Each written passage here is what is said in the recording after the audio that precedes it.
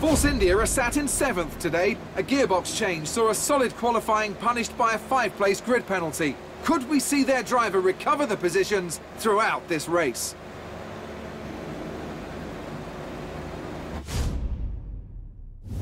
With us serving a grid place penalty, the team have adjusted our objective for the day. Your objective is to finish fifth. Fifth today.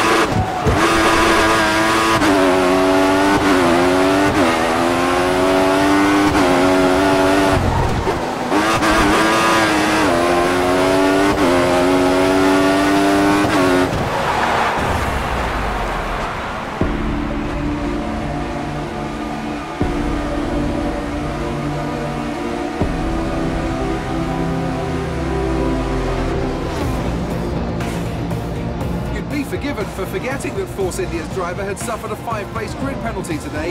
Their driver refused to be pushed into the middle of the field by gaining positions throughout the race.